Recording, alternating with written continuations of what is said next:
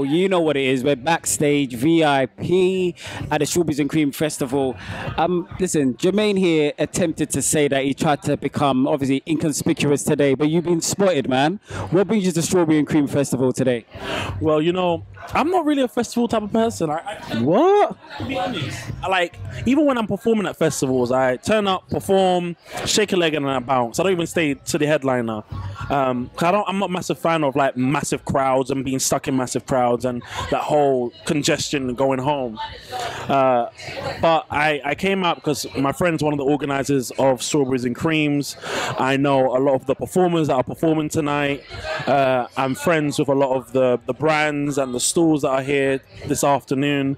And I thought, you know what, let me just come out and support. So uh, I'm Have you been converted now to festivals now? well, I'm sitting down for a reason because I can't really stand up for too long. Because you know, I'm, I'm an old man. There's a reason why they call me the old soul. It's because I don't really stand up for too long. I'm a, I'm the type of person at a party that I sit down with my little glass of rum and I. That's listen. That's fair enough. That's fair enough. In in in, in bits and spurts, in it really. But what people would say you've been a bit quiet, but when people are quiet, they're creating though. So talk to us, man. Let us in. What's going on? There's, there's a saying. Work hard in silence and allow your success. To, Amen. Allow your success to make the noise, and that's what I've been doing over the past couple of years. I won The Voice on BBC One, first black man to win any singing competition this country's ever had, televised singing competition this country's ever had, and I love that.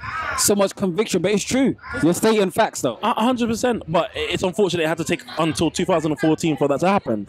Um, and and then I went to uni, got my degree in politics, and now I'm back in the music game, writing, recording, vocal producing for other artists, other bands. I can't really say who, um, but you'll see my name on the credits, uh, and I'm, I'm, I'm, I'm loving it. And I'm ready to step back onto the stage at festivals like this.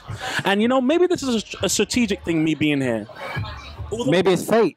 although I'm here to enjoy myself, maybe I'm here to plant the seeds into people's minds that I'm still about. I'm still about. I'm back. I'm ready to kill the stage. I'm ready to to get the crowd pumped up. So yeah, Listen, guys, you've heard it here first. 2022 is going to be very interesting. The year of Jermain. hundred percent.